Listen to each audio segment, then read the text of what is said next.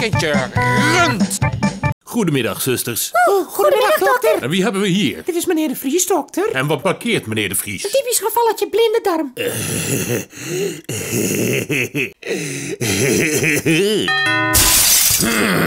Wat moet dat?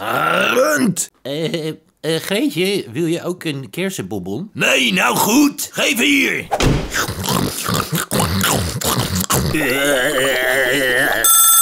Eh, buikpijn? Eh, dat kan een acute blinde darmontsteking zijn. Blinde darmontsteking? Dan moet ik naar het ziekenhuis.